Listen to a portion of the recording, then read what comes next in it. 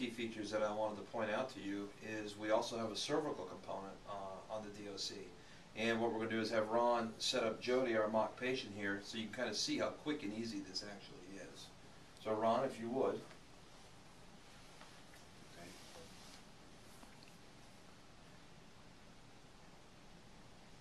The basis of capture on this is a subocciput soft uh, sponge capture.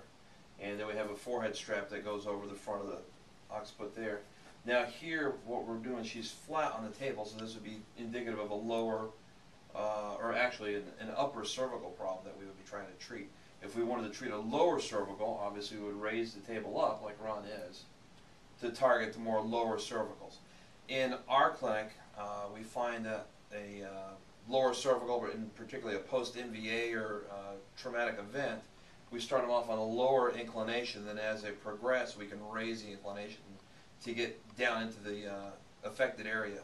This will eliminate a lot of the muscle spasms that you see in the very beginnings of treatments. Again, that's just one of the clinical pearls uh, that we'll be walking you through once you become part of the pivotal family. Uh, we'll be walking you through all these things to help with various kinds of pathology.